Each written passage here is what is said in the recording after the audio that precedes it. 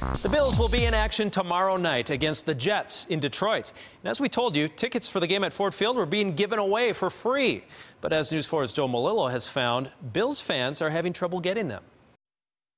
If you have a ticket to the Monday night game in Detroit, you're lucky. Buffalo fans I spoke to who want to go to the game have had a hard time getting tickets. And I left Buffalo today around 4:30 last night, and uh, I get here and there's a thousand people in front of me, and there are no tickets available. They're already been closed out before 10 o'clock.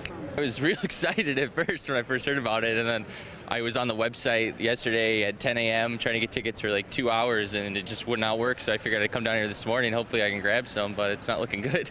They gave out vouchers to the first 250 people. Each got two tickets. Now, if you showed up after that, you were out of luck. Those cheers behind me are because they're starting to give the tickets away. Some of those people have been in line since 7 o'clock last night in the rain and the cold. Yes, we got here at 7 o'clock last night. 15 hours. And just now I got our tickets. The free tickets are for sale.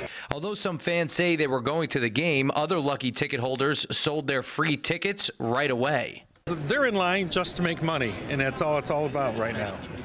And they're already, you know, teasing us.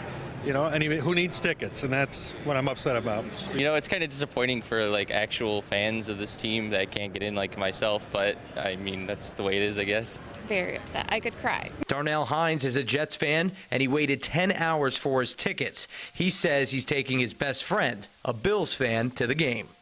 I'm happy because I've never got to see the Jets play.